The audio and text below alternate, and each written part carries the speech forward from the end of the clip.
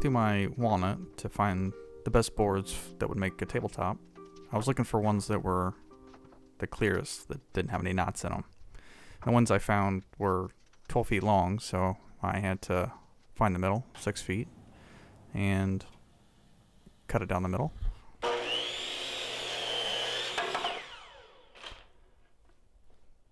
I then had to cut my boards to 6 inches wide as they wouldn't fit across my jointer otherwise.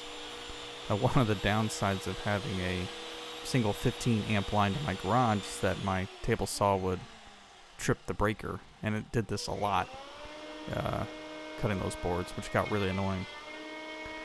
Then I ran all the boards across my jointer.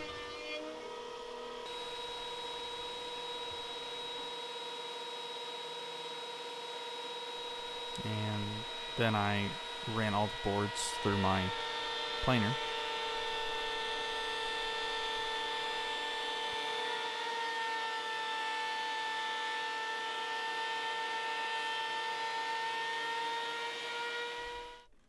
And all this planing created a lot of sawdust. I ended up filling up this entire bag and then half of another one.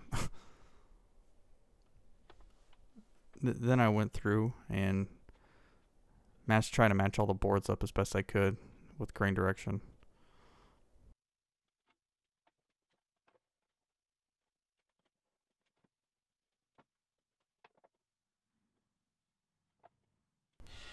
At, at this point, I had actually upgraded uh, table saws, and, and this one was just a 13 amp motor, so it didn't trip my breaker nearly as much as the other one. Anyways, I had gone through and cut the edge on the other side of all the boards so that they would mate up and not leave any gaps. And once I had them all laid out, I went through and marked different spots uh, for biscuit joiner. Is actually the first time I used biscuit joiners, and I'd seen online that you could do biscuits about every six inches, which is what I did. But in hindsight, I probably could have spaced them out a little bit more, as there it felt like there was a million biscuits I put in this thing, and they're not there for any structural integrity. It's just to keep the boards flat and aligned.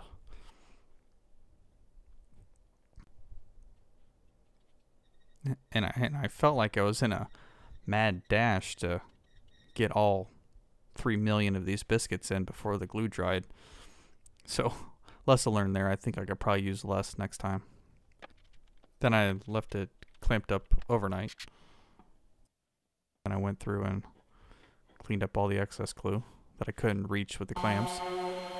And I roughly sanded the top and the bottom with 80 grit just to get it kind of smooth.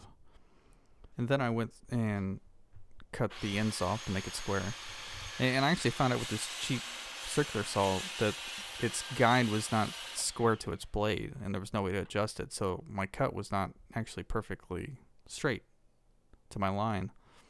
So I ended up getting a uh, different circular saw for the rest of the project. Then I marked out my tenons. And then I used I guess it's called a, a dado bit for my router. And this worked pretty well. I was a little hesitant in how it was going to work, but oh, other than getting the cord stuck on my clamp, it went pretty well. And then I quickly found out where not to put my camera. This literally shot dust directly into the lens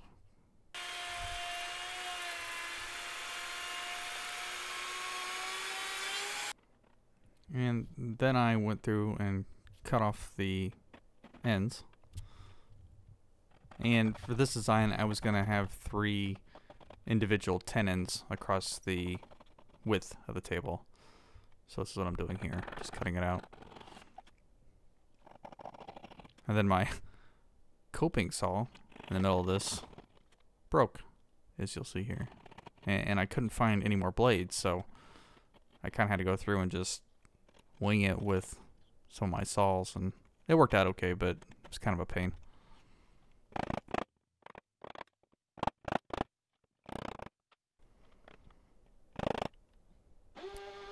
And I got a couple boards to make my breadboards with. And I cut them down to the right width. And I jointed them as well, and then I planed them down to the thickness that would be the tabletop. And for this mortise, I started it doing it this way, where I used an up-down bit and took a bunch of passes. But as I got deeper, I found it got really hard to kind of control and got squirrely, and I'd have little incidences like this right here where it would tag the side of the wall.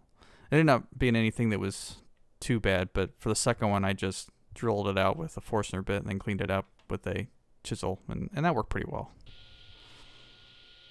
And then I cut the ends to length. You can kind of see on this one that the couple marks where the up-down bit got out of my hand with the router. But it was nothing that you couldn't use. And then it slides on. And the top is roughly together.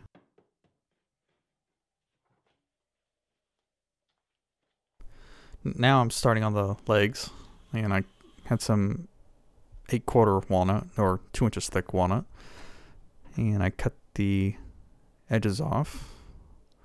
Then I had to plane the edges so that I would have a flat surface to run across the fence so that I could cut them in half. And this piece was actually bowed a bit, so it kind of stalled out in the middle. So I waited and stopped and turned it around and cut from the other end and that, and that did the trick. And I jointed those. Then I also cut some maple to length.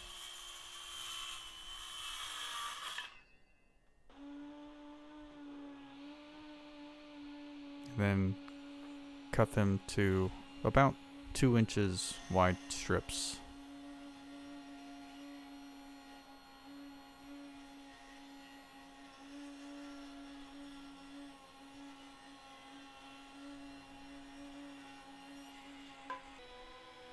and I planed the walnut boards and the maple boards.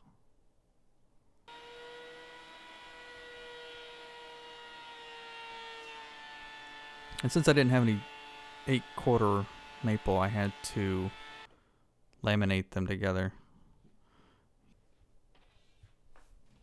And the idea being that it would have a maple strip down the center of this leg. It's kind of an accent piece, really. And then I cut the maple strips into pieces. So when I put it together, it would leave a nice, clean mortise for the stretcher. It's actually something I learned from Mark over at the Wood Whisperer.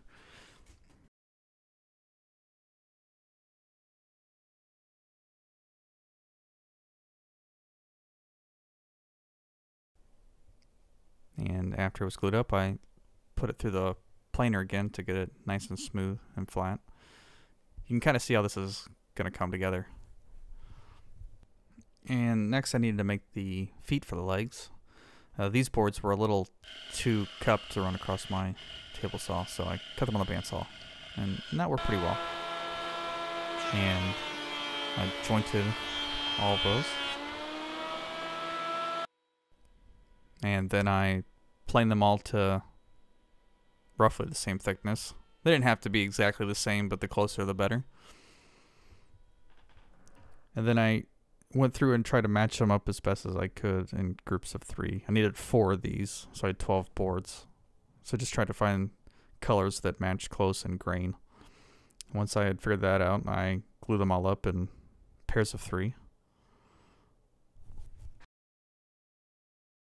And once they had dried, I jointed and planed them so that they were nice and smooth like you see here. And then I went through with the drill press and cut out the mortises. And then cleaned up the mortises with my chisel.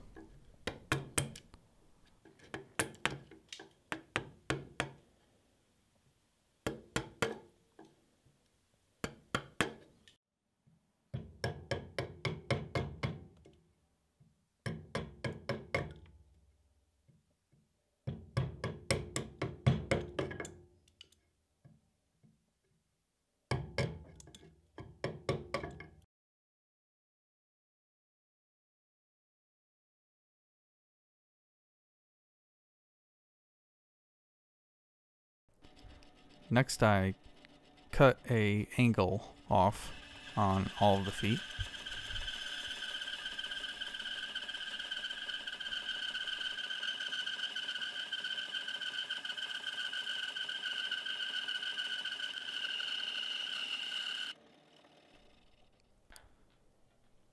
Now you can kind of see how it's coming together. Next thing I needed to do was cut the bottoms out. That way the, the feet would have four individual points of contact with the floor, not just one big one. So that's what I'm doing here.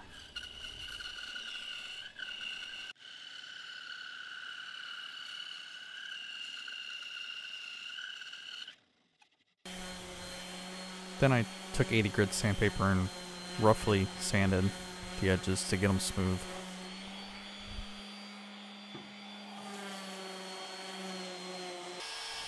And then I took a rounded over bit across all the edges to take the sharp edge off.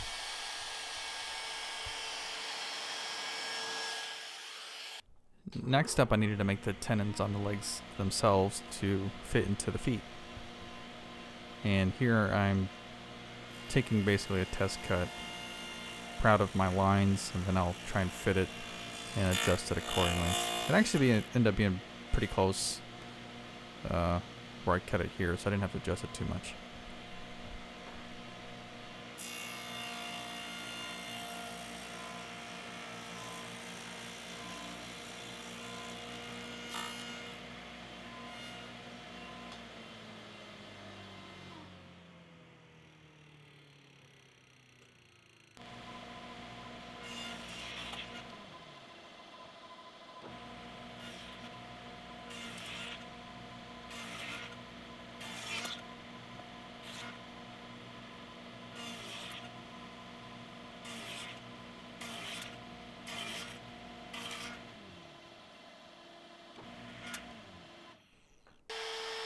And these edges got the round over treatment as well. I didn't want to have any sharp edges down where people could potentially be barefoot and kick something.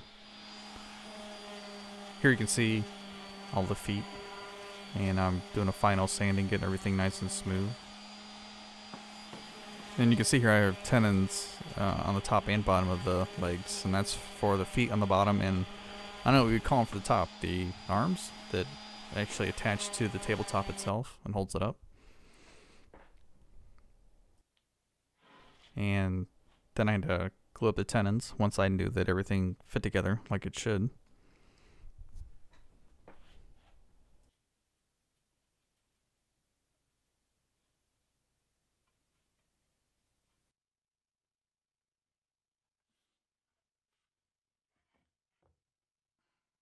slides a lot easier with the glue. Okay.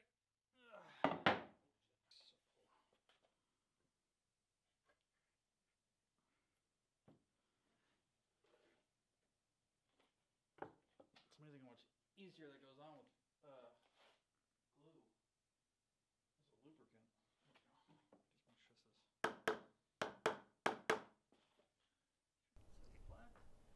Then I can set those aside to dry. Next I needed to make the stretcher that would go between the legs and I didn't have any boards that were thick enough so I had to laminate four of these boards together to get the board that I wanted. So after jointing them and then planing them all smooth,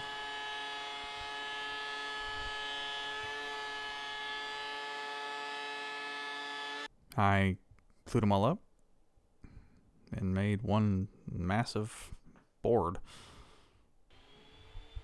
I was a little hesitant about sticking it through this planer because it barely fit and this was extremely heavy. I was kind of worried about it tipping one way or the other, but it ended up working out just fine.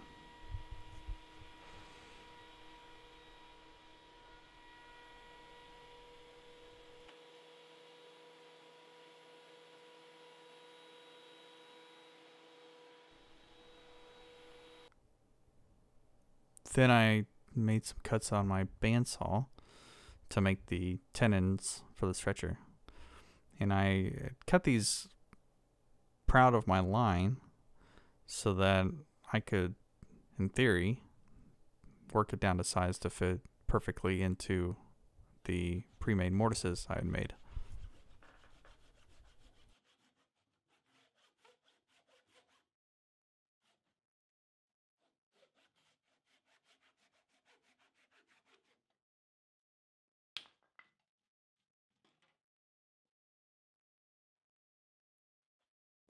And this was actually the very first fitting after I just cut it on the bandsaw. And it was almost a perfect fit. So I got extremely lucky. I had to, I ended up only having to sand it to get it to fit. But I got, I definitely got lucky.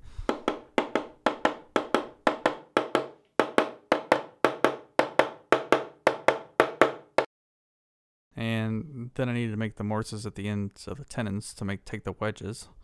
So I just drill them out with a Forstner bit from both sides. And then cleaned it up with a chisel.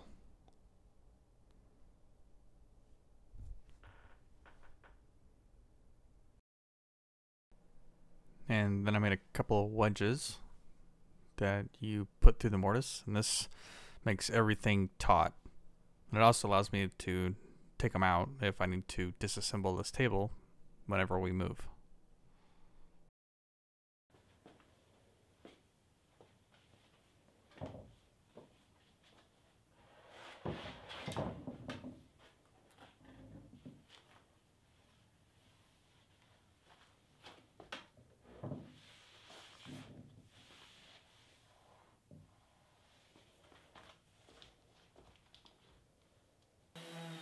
At this point, I was at the home stretch, so I just had to do a lot of sanding. And I mean a lot of sanding.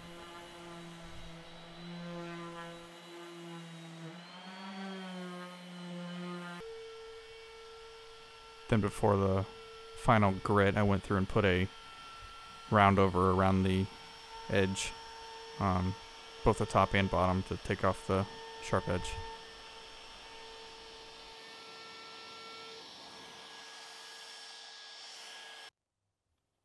And then it was time for the polyurethane. I didn't stain it or anything, I just wanted to keep the natural color. So I put several coats of semi-gloss polyurethane. The legs in the stretcher got the same treatment, but I'm not showing that here.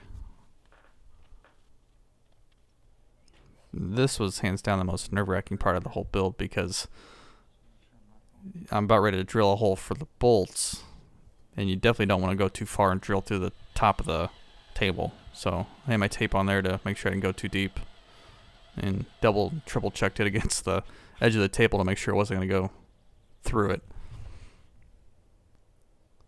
Then I hand tapped very carefully the holes so that they would take a bolt and hold the tabletop to the legs. And it worked okay.